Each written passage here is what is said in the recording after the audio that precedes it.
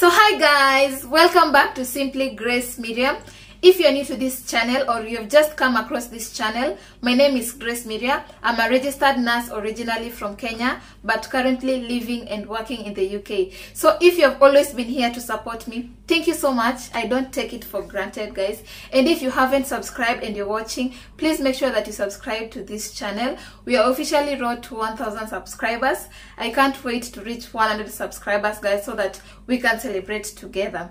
So guys, from the topic today i'm just going to, to be letting you guys know on how i managed to save my money. Because since i released my video on uh, how much i saved first year that i came to the uk so people have been, been requesting on me to tell them on how i managed to save it on some things that i did some things that i avoided so that i managed to save the certain amount of money that i saved. So if you haven't watched that video i'll also make sure to put a link on this video so that you can go and watch it. So guys i'm just from night shift. I haven't even slept. I'm very very exhausted. But i just said let me just do this video because it's been a while since i released a video and i know you guys are my loyal followers and you're just wondering where i am. Some other people other people have started asking where I'm, i am. I'm okay guys. I'm fine. So um i just decided to release this video faster so that i can go and take a nap. So the first and foremost is budgeting. Budgeting is very, very important. And what is budgeting? Anyway, budgeting is just uh, basically the amount of money that you earn versus the amount of money that you spend on your goods in certain amount of period of time. That is a simple explanation of budgeting.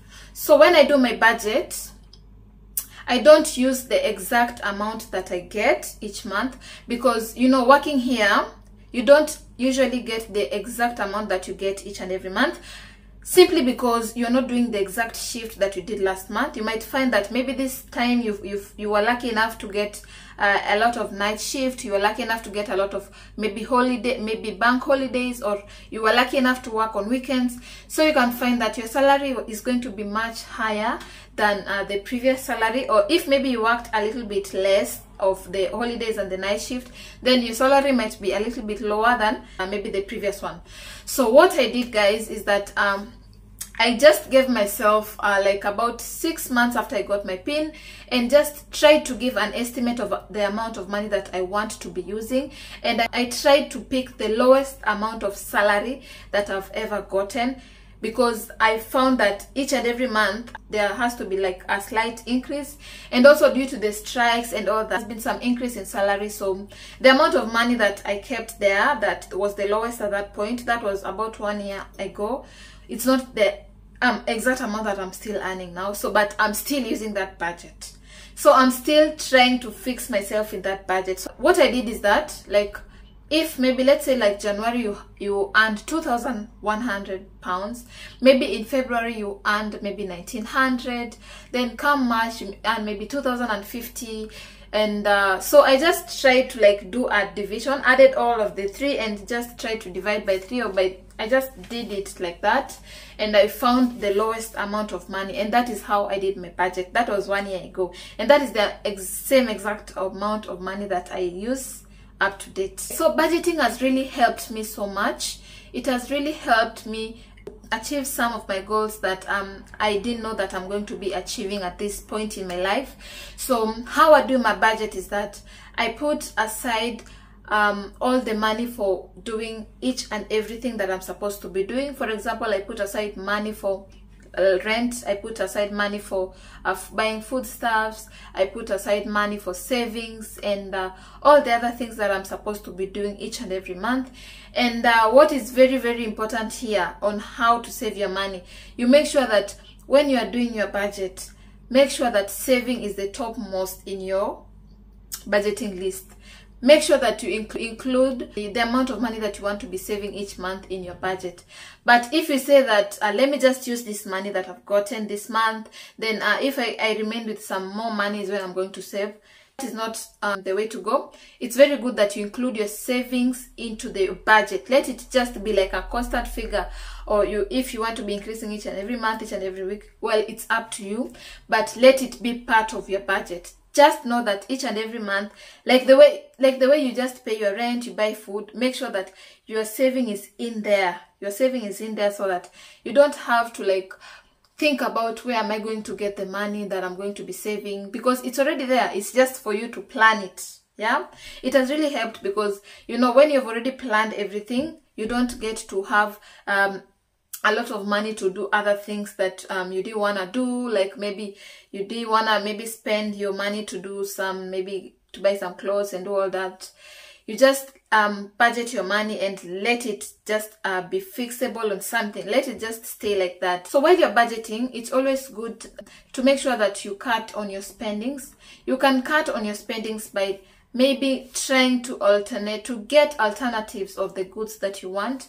You might find that maybe things are just of the same quality but maybe they're just of the diff of different brands but they do work the same everything is the same. It's just that the brand names are different. So it's just good for you. If well it will depend on you but that is what i do. If i get to find that maybe these things i can find that the features are the same.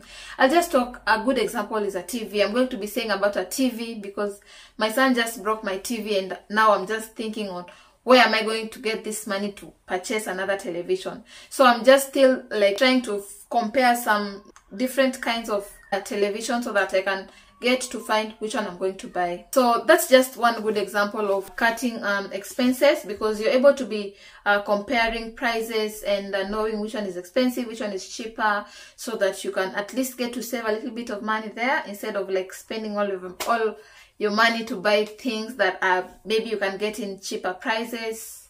Yeah so that is basically all about budgeting. But guys that's not all because very soon i'll be making a video on how i do my budget. I'll just be uh, breaking to you guys down on how i do spend my money. And i'll just be showing you with my payslip shopping uh, receipt and uh, everything. So if you haven't subscribed and you want to watch that please make sure that you subscribe so that when I do this video, you'll be able to know how I'm able to manage it because now we'll be having childcare, we have uh, shopping to do, we've got lots of things to do, lots of savings to do. In short, we have lots of things to talk about, guys. So make sure that you subscribe to this channel. My second point is I like uh, shopping on uh, cheaper retailers. I just compare prices of like, let's say clothes, and uh, maybe foodstuffs like let's say in supermarkets. Of course when you come here or even maybe in our country just all let's say just worldwide there are those shops that are very very expensive maybe from if you buy clothes there and then you're going to be spending a lot of money. Then uh, there are those supermarkets that are very very expensive and uh, some are even exaggerated. Just um, when i first came here i told you the mistakes i made is that i did not i didn't know of uh, which cheaper retailers to go for. So I just walked into different uh, retailers to buy different kind of clothes, different kind of jackets and shoes, and even food. And uh, later on, I came to find out that these places are way much expensive than I can afford, than I could afford at that point, and even at this time.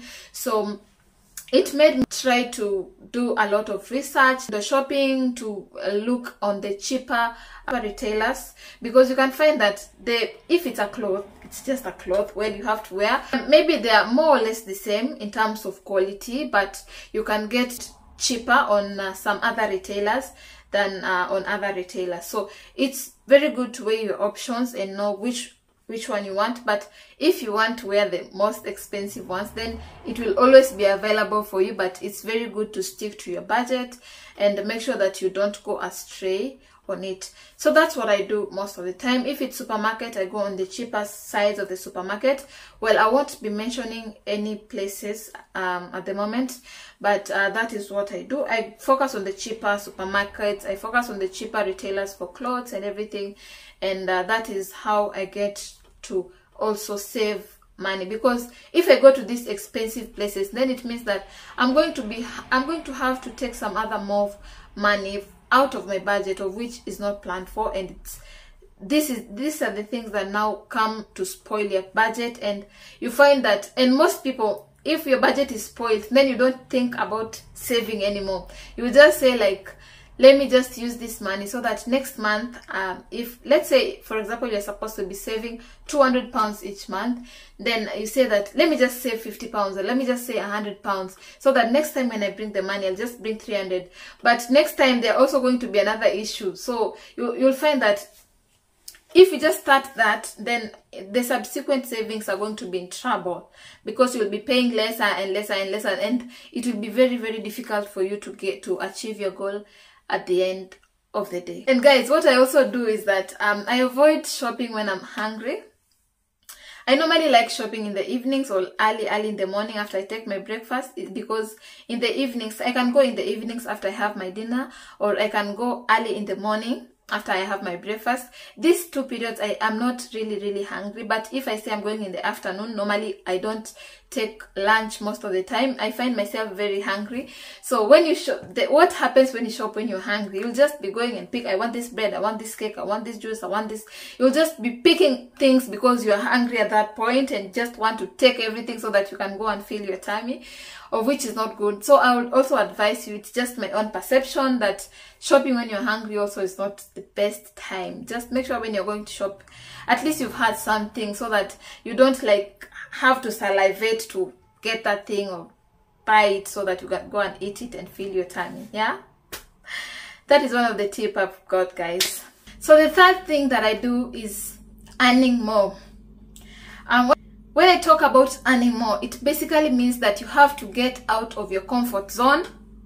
You have to get out of your comfort zone and do as much shift as possible. You work smart.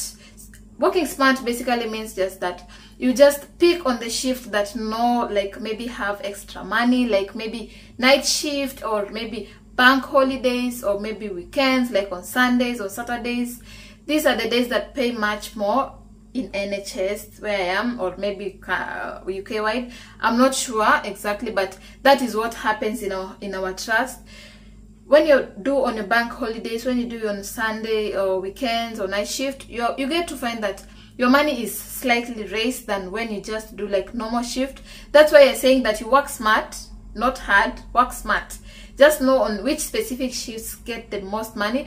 But well i am not saying that you just focus on this day. If there's no other shift of course on this day because many people run to get this shift then you can just go ahead and pick the normal shift so that at least you get to get some extra cash. Because if there's no way you're just going to sit there and wait for the the, the good good good the good shift the the shifts that pay good amount of money. And you also have the opportunity to do other shifts. So if they are there go ahead and do that. But i'm just saying this so that next time you make sure that you're among the first people to choose this good shift so that it's going to be much higher than the amount of money that you're going to be getting on your regular shifts and what I do normally when I do this uh, bank shift, bank shift, this shift that I'm talking about, the extra shift, when I get to do this bank shift, I normally put this money aside.